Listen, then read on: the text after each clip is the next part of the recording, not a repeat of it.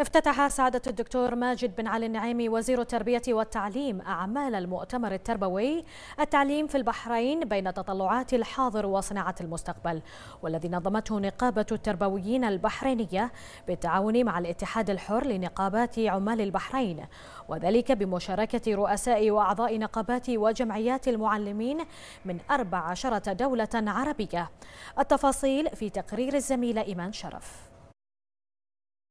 إيلاء التعليم ومخرجاته بالغ الاهتمام يمثل وبلا شك عصبا للتنمية ومركزا لاهتمام كل فئات المجتمع. وطريقا أرحب لرسم ملامح النهضة التي لطالما توشحت بوشاح العلم والتعليم لأي بلد كان. من هنا ينطلق مؤتمر التعليم في البحرين الذي يضع في أولوياته مستقبل التعلم في مملكة البحرين والنهوض به إلى أعلى المستويات.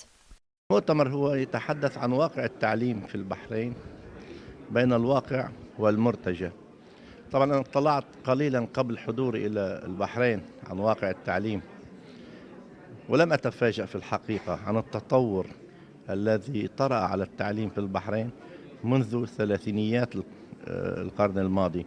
فالبحرين قطع شوطا كبيرا في ميدان التربية والتعليم. وما الإنجاز الذي حققه طلاب البحرين هذا العام؟ إنجاز كبير في مادة في مادتي الرياضيات والعلوم حيث احتلت البحرين تلامذة البحرين المرتبة الأولى عالميا في مادة العلوم والمرتبة الثانية عالميا في مرتبة الرياض الرياضيات. إن هذا المؤتمر التربوي يسعى إلى تعزيز الجهود المبذولة محليا في مجال الاعتماد على التكنولوجيا الرقمية في التعليم وتعزيز ارتباطها بتطورات العصر ومتغيرات قطاع الأعمال بالإشارة إلى أن هذه المبادرة تسعى إلى توطيد العلاقات بين النقابات المعنية بالتعليم على المستوى العربي بما ينعكس إيجابا على جودة التعليم في جميع الدول العربية. التربية والتعليم مشروع التمكين الرقمي بس الورقة هي المواطن الرقمي ويعني مفهوم المواطن الرقمي. في المدارس الخاصة عندنا اليوسيمس اللي هو الحسابات الذهنية. كل هذه نبي نوصل إلى أن الفرد ممكن بقدراته الذهنية يستغني عن الحاسوب وأيضا يكون مواطن رقمي يعني يستطيع أن يستخدم التكنولوجيا. هذا المؤتمر حقيقة في الاتجاه الصحيح. يناقش آه، قضية التعليم في البحرين وصناعة المستقبل.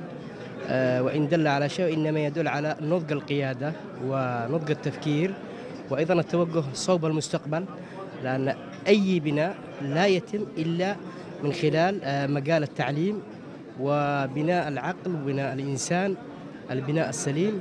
حتى تكتمل النجاحات في كل مجالات الحياة في إطار التعليم من إطار من إطار التعليم ومن ثم لبناء الدولة والمؤسسات في مختلف الحياة.